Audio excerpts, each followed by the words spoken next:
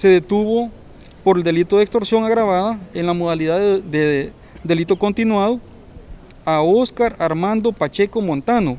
Este sujeto es de 21 años, es eh, conocido, apodado como Moreno.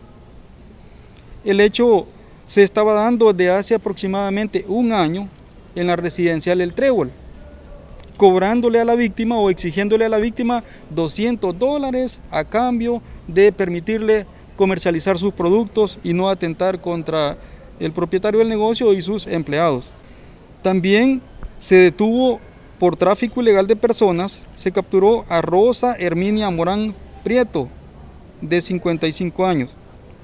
La detención se realizó en el interior de la aduana de San Cristóbal de, Candelaria de la Frontera, en momentos que esta persona intentaba eh, trasladar a una persona hacia el país de Guatemala. Por el delito de agrupaciones ilícitas fueron capturados Manuel de Jesús López, de 39 años, apodado El Puro, Mario Esteban Moreno López, de 30, y Melvin Alexander Rivera Carranza. También tenemos a dos personas más que fueron detenidas por el delito de extorsión agravada y responden al nombre de Kevin Joel Valle Sánchez, apodado Tacha, Tacuacín o conocido por Kevin, y Luis Ernesto Orellana González, apodado Larry.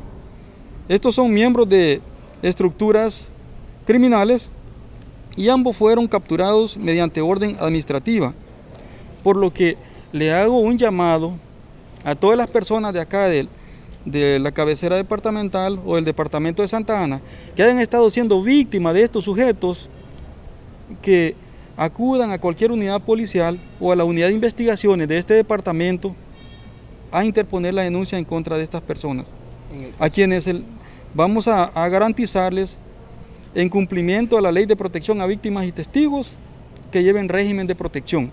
Estos eh, últimos dos detenidos fueron capturados en el centro de la ciudad de Santa Ana. Estos sujetos operan acá y son miembros de la Mara MS.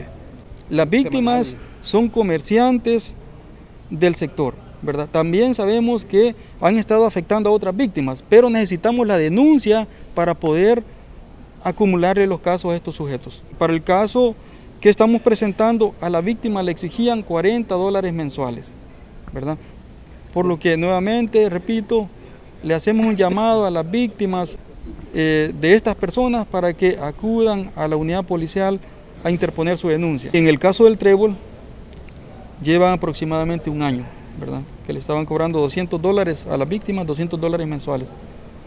Y en el caso de acá de Santa Ana, llevan igual cantidad. Estos sujetos, es su estilo de vida, eso se dedican, ¿verdad? Por lo que urge la denuncia del ciudadano para poder trabajar los casos y ponerlos a la orden de las instancias que corresponden.